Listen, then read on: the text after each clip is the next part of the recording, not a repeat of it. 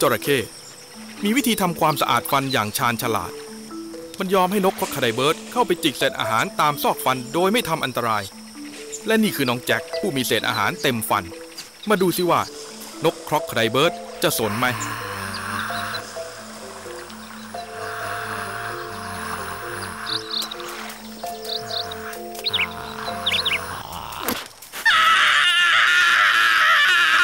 เคียวเดนทีนไว้ดีกว่า